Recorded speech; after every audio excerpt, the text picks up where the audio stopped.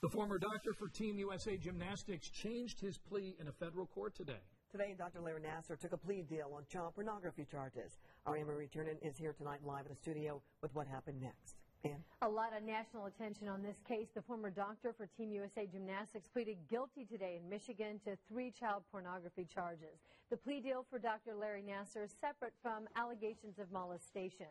So far, more than 100 women have accused Nassar of assaulting them during treatment. The accusations all come from gymnasts who are on the national team level and from women at Michigan State. The agreement suggests sentencing guidelines that, if accepted by the judge, would put Dr. Larry Nassar in prison for 22 to 27 years. But keep in mind, his legal problem's far from over. He still is facing three separate trials over accusations that he molested a total of nine girls in Michigan. So far, he's pleaded not guilty to those charges. Nassar worked at Michigan State University and also USA Gymnastics, which happens to be headquartered right here in downtown Indianapolis. Andrea. All right, Ann, thanks so much.